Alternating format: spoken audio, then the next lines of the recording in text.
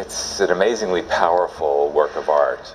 Uh, it plays on human emotions. It taps right into our fear of death, injury, dismemberment.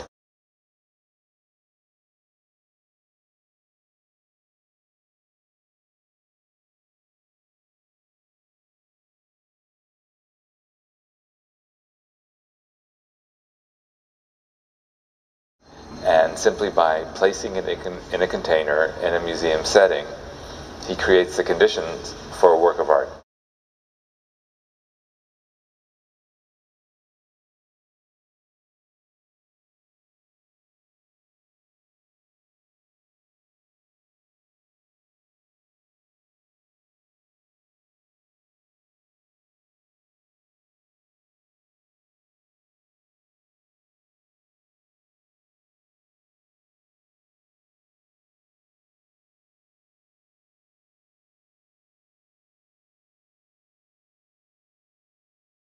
Well, what's important with conceptual art is the underlying idea. It's it's not the physical expression of the artist's idea. And what conceptual artists tell us is that anyone can create, recreate this idea. It's the it's the power of your confrontation with that object uh, that counts.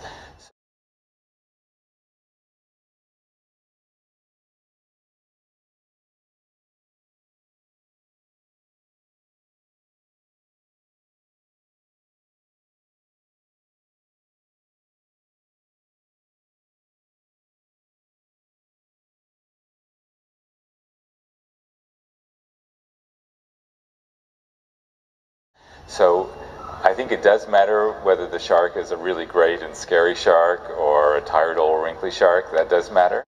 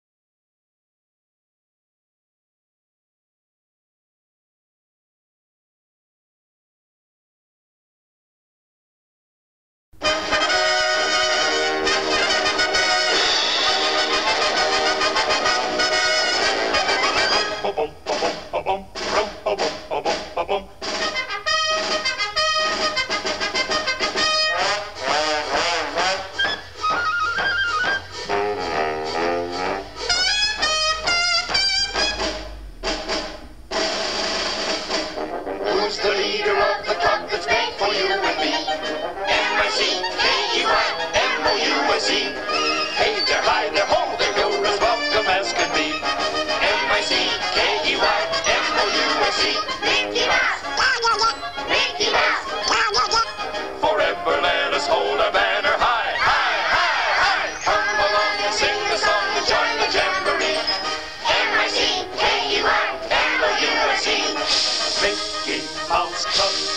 Mickey Mouse Club.